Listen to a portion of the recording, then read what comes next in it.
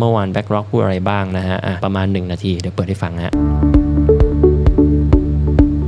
Bitcoin adoption has grown significantly since it was created over 15 years ago. It's the world's leading and most widely adopted cryptocurrency,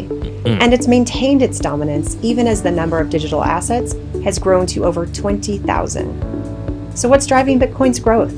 Well, first, the continued digital transformation of the global economy. it's changing the world of finance. And with that, creating a growing interest in digital assets and new use cases for Bitcoin.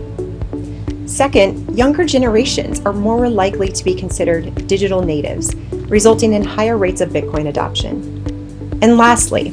certain global trends such as rising inflation mm. and geopolitical divisions That's have increased Bitcoin's appeal mm. as a scarce asset that exists independently of any one country or central bank.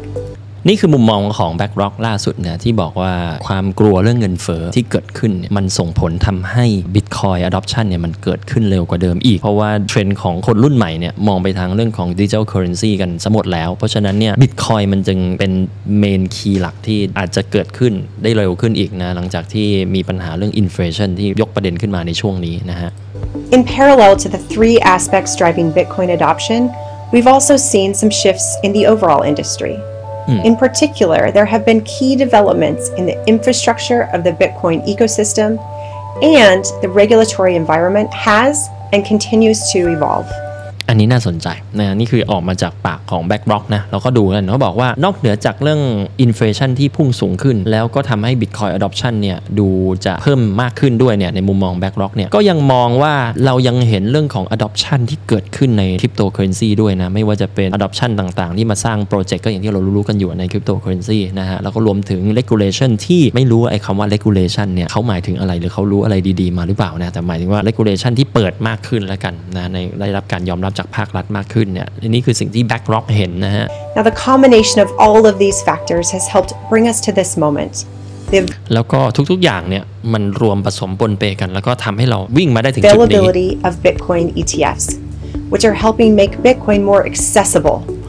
แล้วก็นำมาสู่การทำ Bitcoin ETF แล้วก็ทำให้ Bitcoin เนี่ยเข้าถึงได้ง่ายขึ้นนะ more accessible to investors.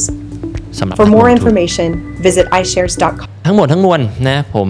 ไม่ได้จะมาต้องมาโปรโมทอะไรนะเราเป็นช่องช่องหนึ่งแล้วกันที่เวลาเราอ่านข่าวเราก็อ่านแบบเพื่อนคุยกับเพื่อนฟังนะฮะเราก็จะบอกว่ามันก็ต้องฟังหูไว้หูด้วยนะ ส่วนหนึ่งก็คือเขาเขาก็มีส่วนได้ส่วนเสียเรื่องของการเข้ามาในทำตัวสปอตบิตคอยเดียทั้งหมดทั้งมวลในการพูดเนี่ยมันก็อาจจะเป็นพูดเรื่องของการโปรโมทสินค้าของเขาเองด้วยหรือเปล่าเราก็ต้องนั่งคิดด้วยนะครับแต่ว่ามันก็มีบางมุมที่เราก็เก็บไปคิดได้เช่นเดียวกันนะฮะแต่ว่าฟังไว้ใช่ว่านะฮะเราก็วิเคราะห์กันหลาย ๆ ช่องทางแล้วกันนะแต่นี่คือสิ่งที่ BlackRock กำลังมอง